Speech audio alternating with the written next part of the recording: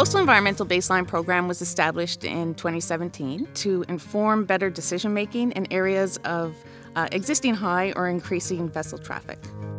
The objectives of the program are to determine the physical, chemical, and biological baselines at six sites across Canada, and those are in the coastal zone.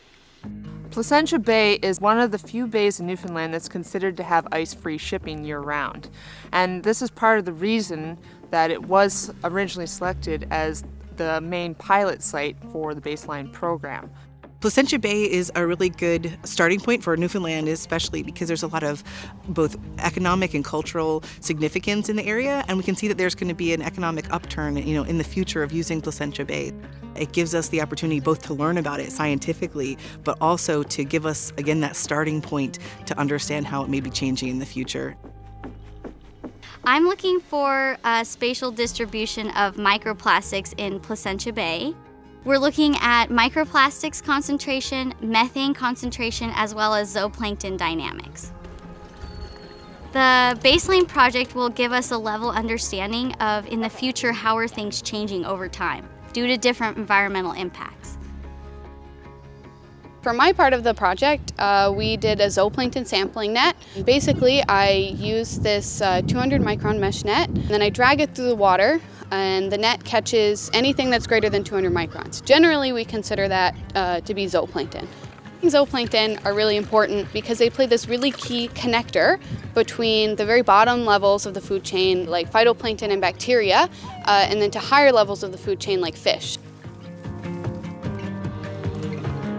ACAP Environment is a nonprofit environmental organization. Uh, we focus on marine monitoring and restoration. Today we were doing some marine vegetative surveys, looking for eelgrass, but also different types of rock rockweeds, ascophyllums, and we also survey for uh, some aquatic invasive species, just looking for presence and absence.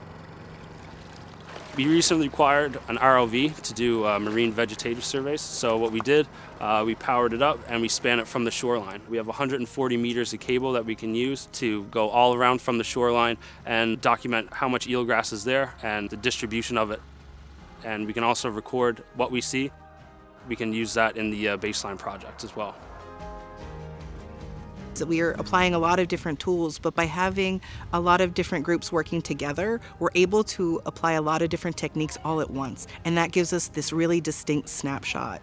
It's really exciting for me to be able to help develop this work and this baseline data for uh, future generations of researchers. I would like to use my engineering background and my new marine biology degree to create a mechanical system that will help clean up the ocean from microplastic and other trash and debris. Very important where a lot of our economic growth is generated from the water. I think it's extremely important to take a stewardship approach and uh, take care of our oceans.